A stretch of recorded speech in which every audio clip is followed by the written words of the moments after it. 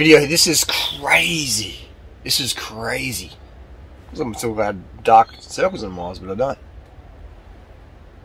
Crazy man. This is crazy. This is this is insane. Insane. This is making sports history. And correct me if I'm wrong about any details. Correct me if I'm wrong. I'll make amendments. An ex-pro rider who's riding for a few different teams um, pleaded guilty. Said, "Yep, I blood doped." I'm pretty sure that's what he said he did.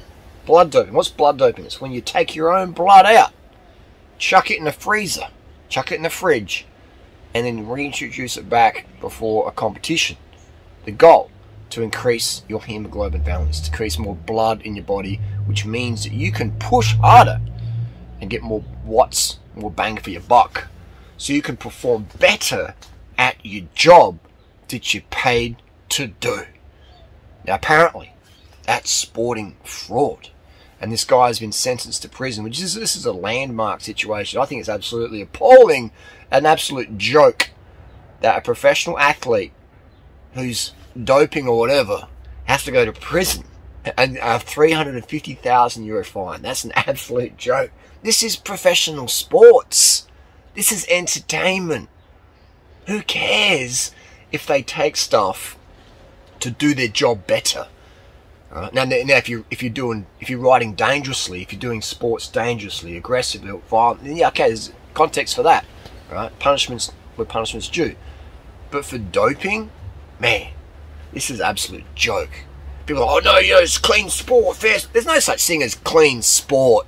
Even in friggin' Div 3 here, Div 1, Div 2, running like swimming, tennis, everyone's using something. You know? I don't I don't use drugs, but you're on Ritalin. you're on birth control. You're on prescription medication from your doctor. You know, it's like those things are incredibly performance enhancing. You know, like women using the birth control pill, that's a, a huge performance enhancement. Because, one, you're getting bone density okay, because you can just smash your training out. And then you're on thyroid medication, which is an incredible stimulant. It lets you do mutant training and mut- like thyroid meds. That's insane. Powerful drug control, uh, doping control there. You know, like it's insane. I'm not here to judge anyone say it's bad or wrong. I'm just saying that you know, everyone's not everyone, but 99% of people out there are taking some sort of drug for performance benefit. No, I'm just taking it for my health. What do you think these pro riders are doing? They're taking stuff for their health as well. Do you think it's healthy to, you know, to race for three weeks in the Tour de France and just totally crash your, your cortisone and your cortisol and your, you know, like your your hemoglobin just to tank? You're basically giving yourself anemia. So it's like these things people take. It's for one for their health, two so they can do what they're paid to do better and give us the viewer more entertainment. Now, you're saying you, you're contradictory. You always call out these fake natties. You know, what's the difference between a fake natty on Instagram making money off teenage kids who think they're natty? You know, what's the difference between that and a, a pro cyclist or a pro swimmer, you know, taking EPO or blood doping to, to win? You know, what's the difference? There is a big difference. Like, I'm under zero illusion that anyone out there is natty. Like, I don't go and buy a, you know, a giant bike or a Trek bike or a Cannondale or Pinarello or whatever because I'm thinking, wow, I'm going to ride like them if I use their bike. That's, no one even thinks so. Even when I sold bikes, Trek bikes back in the day, you know, we sold so many bikes because of Lance. And I still make money today because of Lance. Lance is the tide that rises all the boats, man. Everyone's boat was risen by Lance. So Lance deserves that. Um, you know, Lance tried to destroy people's lives. No, Lance went after people who went, after him. You know, he, he, you throw a punch at Lance, he throws a punch back. Is there anyone out there that Lance threw a punch first? I don't know. I can't remember that. You know what I mean? Did he do some douchey things for sure? And we all did. Um, did he pay for that? Yeah, he did. He got a lot of negative backlash and stuff. So you know, but it's I think it's just a fantastic example of how wrong we are in society that will put uh, someone in prison who's doing who's taking their blood out and putting it back in on the, on the pretense of sporting fraud when the the team I am even said we're not going to make a claim here because they got good value out of it. Like if your rider wins a race with your sponsorship, and then they get caught five years later, no, no one cares because the, the, the, the fame and the TV and the billboards and the marketing money was recouped back then. I mean, look how much money Trek made because of Lance, or Oakley, or Nike, or US Postal. How much money they made from Lance and the and the crew. You know, think how much money Travis Tygart made off Lance. Everyone made money off Lance. Everyone is still a lot of people. Not everyone, but we're still making money off Lance. So drugs make money. They make great entertainment. They increase your health. Some do, some don't. But again, there's risks as well. You get risks. You take too much, you get a health condition. So it's like you know, you don't take enough, you can get health issues. Take too much, you can have health issues. Goldilocks, you're pretty much good. Um, so I think this is wrong. We're putting this guy in prison with rapists and you know legit criminals, violent people and stuff like that. Like this is this is a joke. This is an absolute joke. Um, you know, oh my god. Oh my god. And here's the here's the irony. Like this guy's taking drugs. I don't even know he's taking drugs. He's taking he would you, you would have. But um you know, taking stuff, doing things to enhance his job productivity. Which is pretty much everyone out there. Oh, tired at work. Boss, can I have a sleep? Get a cup of coffee. There's a coffee machine over there. Get your coffee in there. Take your modafinil pills. Take your Ritalin pills. Take your Dexies. Take your Adderall. You know what I mean? What do you mean you're going to lay down? Take your, go smoke, do something. Take some drugs so you can get back to work and do what you got to do. Do what you're paid to do. Hey, dog, I'm, uh, dog boss, I'm really tired today. I'm just going to sleep in, eh? I'll come over later on, eh? no. Smash a coffee, get back to work, you know? Truck drivers taking pills to stay awake. Like, you know, imagine how much coffee and stimulants were consumed in this court case, you know? if went to trial, I mean, like, how much smart drugs are taken by lawyers and barristers and stuff out there? How much? A lot. How much cocaine is in the legal profession? How many barristers out there and lawyers? You know, like to do their job better. Stockbrokers. It's it's rampant and it's just a big joke. So I find these stories incredibly interesting at a social level.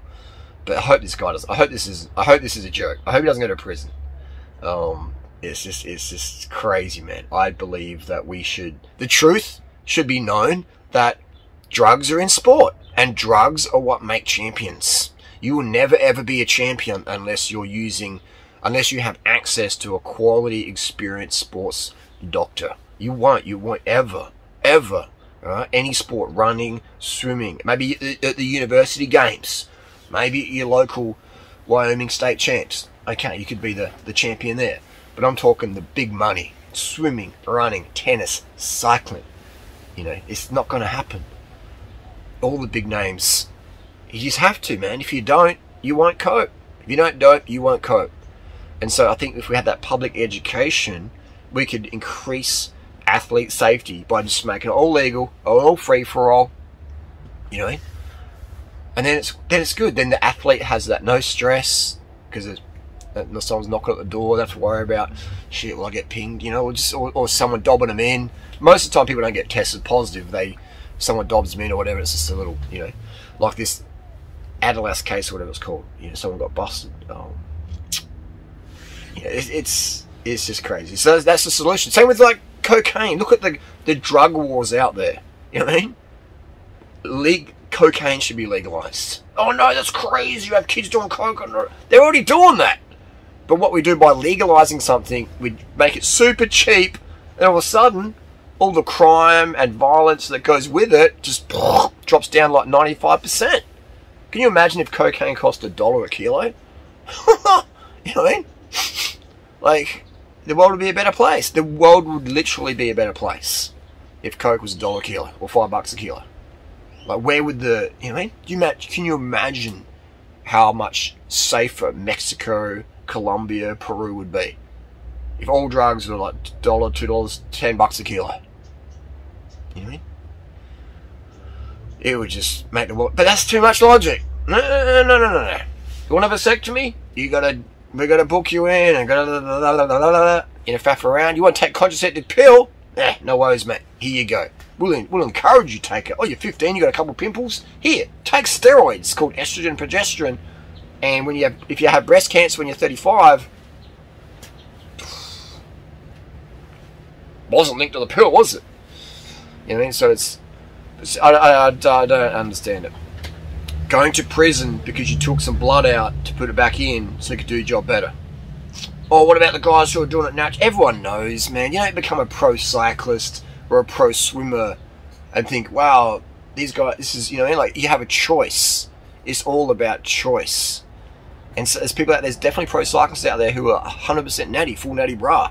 And they're probably ones you've never ever heard of, you know, and they're, they're just the bottle carriers. Well, I say just the bottle carriers. I mean, but they're, if those guys were on 6.8 kilo bikes instead of these stupidly heavy aero bikes with disc brakes and, and you put them on the same you know regime and program then they would they would become extra hitters as well.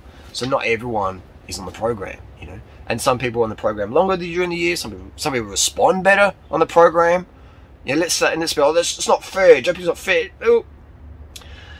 what about the people out there in Kenya etc who could be good cyclists but they can't afford to you know? Because you know, cycling's a, an expensive sport. So that's is that fair? It's not fair. You know, what what if I've got a twin brother and he had sex with a girl who said she was on the pill and she wasn't or didn't work, and now she's pregnant and her body, her choice, she's got a baby, and now he's paying child support hypothetically, and now he's racing as well, but now he's got to provide for a kid, and I can spend all day doing my little thing, training and recovering, but my twin brother hypothetically has a kid to care for. He has to go to work. He's actually got a few more kids coming on the way. So he's just like, oh my god, stress, you know. And then his testosterone level's dropping down. His hemoglobin's dropping down. His recovery's tanked because he has to provide for his kids. Now, what if his hemoglobin drops down and his test levels drop down and mine are up here? And we're twins. Now, what if he takes some testosterone or maybe some EPO and gets his levels up to where they would be normally? Is he cheating? Yes, he is based on the societal level. But really, all he's doing is he's bringing himself back up to where he would be otherwise. You know what I mean? And then you got people out there who are taking so much that they're at an insanely mutant level. You know? And is that cheating? Well, everyone else can do that as well. So it's a choice what you want to make. You know? Um, people, oh, but no, no, no, like this. This is where people just make it. I'll lose subscribers. Yeah, probably a few hundred of you would have unsubscribed from this video because you don't like truth, and I don't care. You know, I'm not here to insulate my ego with noobs who just give me compliments like, hey, right, you're the best. And it's nice when I hear that, but I'd rather educate you, tell you exactly what's going on out there, so you're no longer walking through the world with blinkers on and going, wow, yeah, wow, cool. You know what I mean? like, that's painful, man. To be ignorant is pain. Ignorance is pain because you get misled and go down the wrong track in life, and your life just sucks compared to if you're going through life with 2020, you know, reality driven precision eyesight, you know, where you're just like, reality, whoa, reality, the truth, wow, that's clarity. Jeez, mamma mia. That's what I love. That's how I live my life. So, you know, this is just how it is, man. This is what we're living. It's 2021. 2021. Look what's going on. Alright, it is cutthroat out there. It is cutthroat. So if you think any of your sporting heroes, ice hockey, basketball, MMA, UFC, cycling, running, swimming, tennis, you know, boxing, bodybuilders, if you think anyone out there at the top top is natty, none of your gurus are. None of your idols are. They aren't. Now, where I think people should go to prison, mm, maybe not even prison, but just should be they should be named and shamed, is these fake natties out there they shouldn't go to prison. They should be Athletics, etc. Should be made to pay back all the money that they took from their noob audiences, from the ebooks and the creatine and the protein powders. All those kids out there who spent their hard-earned money, or mummy's hard-earned, daddy's hard-earned money, on the you know the programs, the Matt does fitness programs, etc. Under the impression that these guys are natty. In my opinion, maybe they just found Jesus. You know, that that they those people should be you know exposed, um, not exposed in that sense, but just like education. Like these people ain't natty. These people found Jesus. You know, like whatever. That's what I feel. That's his education. Because how many kids out there today are like starving themselves, overtraining, busting up their joints, doing deadlifts. I heard the other day on social media that a girl's in a wheelchair now because she's doing, you know, she's doing a 70 kilo squat, you know, she slipped and that I would say based, you know, she was doing keto or something like that. So just like, and then just, you know, she puts put in bullshit. Like how unfortunate is that? Because she's probably watching someone out there going, "Wow, I can do this," and and cop tried to copy that, you know, and just had a, had a really really bad uh, experience in that. So that's where I think if we're going to go after people, then we should go after the fake natties and say, look, you know, all that money you've taken, you know, you're stuffing mattresses full of noob cash. Come on, pay it back, share it back around. The truth's got to come out. Athlean-X fake weights and all that stuff. We just, you know, and it's no hate to these people, but it's just like that's just that's fraud, in my opinion. That's fraud. Where you're claiming natty, overtly claiming natty. You're not making a joke like, yeah, I just, uh, you know, I just found Jesus. Like actually saying I'm natural. And kids are go, wow, like if I buy your program, I'll look like that if I train hard enough. You will never, ever look like them. Ever. Even the people they train full time don't even look close to what they look like. Right? That's the power of Jesus. So that's just the deal there. Um, yeah. Anyway, that's the vid. I think it's crazy, man, that we're, you know, no athlete, an athlete out there, they're if you're a professional athlete, you're nothing but an entertainer.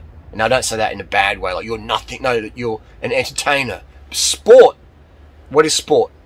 Professional sport is aggressive exercise funded by money to make more money. When they put on the Tour de France, when they put on the Olympics, etc., it's rich people investing in it to get a return. Return of interest. What do they call it? Right, so and we're selling product. We're selling hats made in China. We're selling bikes made in China for you know whatever. And then there's insane markup and you know you think of the logistics and how much money is floating around out of sport. It's, big bucks. So and the athletes are entertainers for us, but also marketing pawns for the product. All right, and if the athlete gets busted, the business is like next next athlete. We'll cut ties send out an Instagram post, blah blah blah blah blah. Next, next athlete. You're disposable. And that, that that's that sucks. You know, so I think that we should just educate the society about what goes on, not conspiracy theories, but actually what goes on. You know, this is the truth. And you won't hear many YouTube channels talk like this because maybe they don't know or they don't want to backlash or that's cool. You know, everyone's got their own deal. But uh, yeah, this is this is insane times. There's plenty of people who should be in prison, but not some skinny cyclist who took his blood out so he could get a few seconds or a few minutes faster on his little carbon fiber bicycle that was made in China. it's, it's just, it's a joke, man. But hey, the whole world's getting a joke, and I'm glad I had a vasectomy. Thanks for watching.